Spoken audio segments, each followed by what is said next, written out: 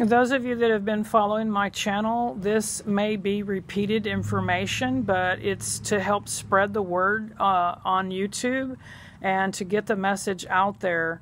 But God gave me a uh, vision in March, around March, uh, the first and second week of March, and then the week of March the 14th, He gave me a second vision. The first vision was all in red, it was the number three standing for the month of March um, is what I thought, and I thought that that was what for sure it meant, but it means more than that.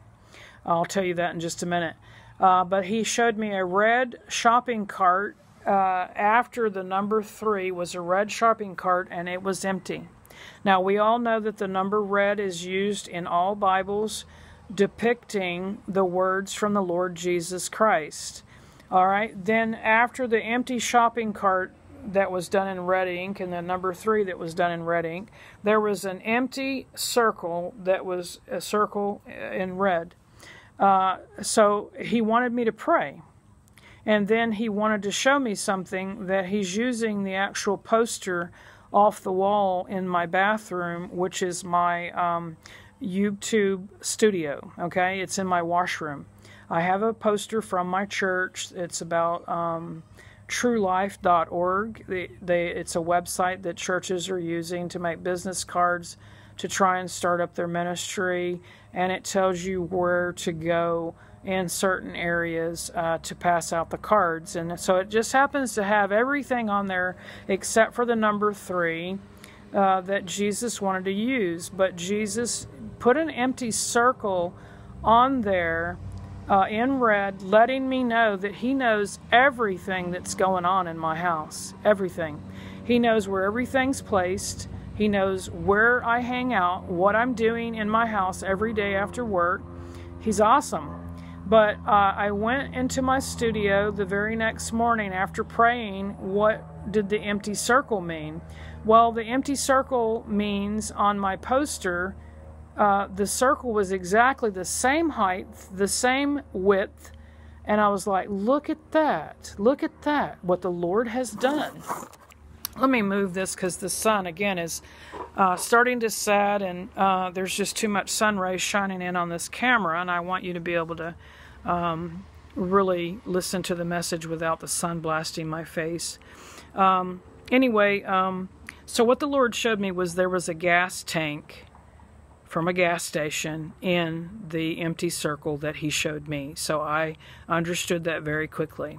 So now then, I've been praying since March, and what he has showed me since March till now is he has showed me everything else that he has showed me all lines up. You're going to have to go to Nets of Hope and listen to every video, and please go to the first video first, and I have playlists so you can listen to them all through, or you can just go to them one by one by going to the very first one that was published and then clicking on each one that follows a pattern. Uh, there will be some that I did not put in a playlist because they were just directed to the public or directed to Gil Broussard and there was only a couple of them and i didn't have a reason to line them up with certain playlists because they really didn't like fit into dreams or revival or whatever. So you might want to just listen to every video because all the information is pertinent all the information is important. It means something. Um, but anyway, uh, what I wanted to say, if you're listening to this particular video, is our food supply is going to be completely empty, is what the Lord is showing me. Whether you're a pastor or a church member, many of you may say, Oh, the Lord's going to take care of me. Well, yes, He will. But does He not warn us through the Holy Spirit uh, when death is coming, when disaster is coming? Uh, don't we listen to the news people and the radio people when storms are coming, hurricanes are coming, and we take action? Do we, um, at that time, count on the Lord and we don't get off our butts and we don't go to the. Gr- Let's just say, for one instance, if during Hurricane Harvey, um, we just said, Oh, the Lord's going to take care of us. And we didn't get off our butts and go buy plywood, water, flashlight batteries, and food. Would we have had any of that to survive? The Lord wants us to use wisdom and he wants us to look at the Bible. Now, Joseph in the Bible was in prison.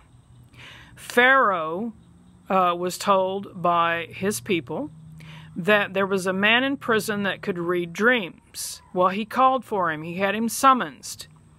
He went before Pharaoh and he wanted to know if he could read his dream. His dream was about seven fat cows and seven skinny cows.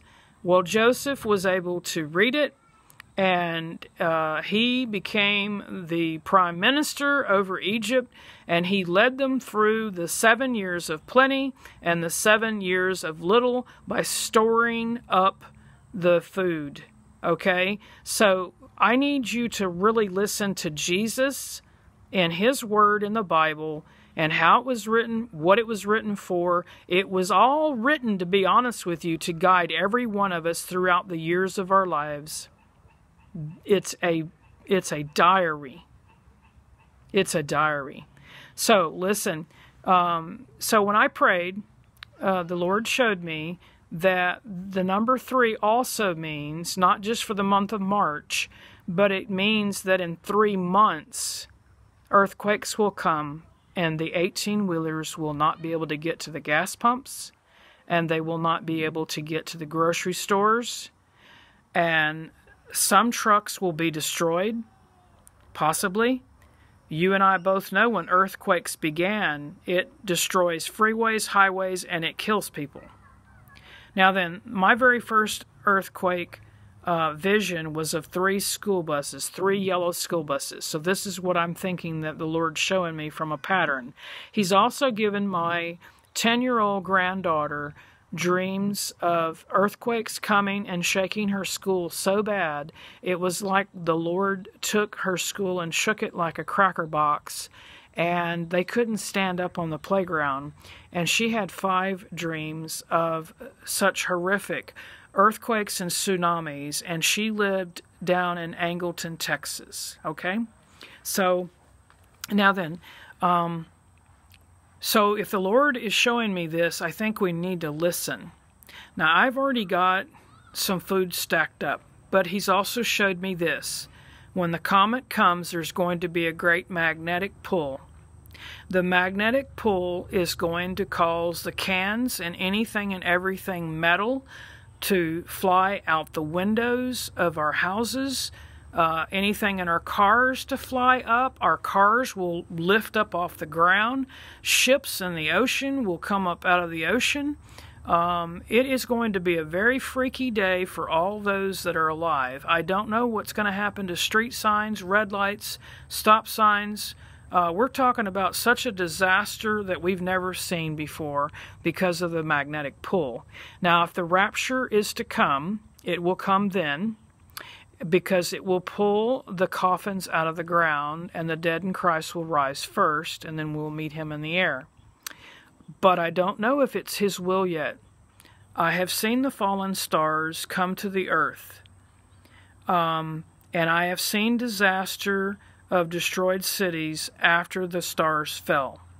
But I had a dream that he gave me way before I ever came to the church that I'm at now.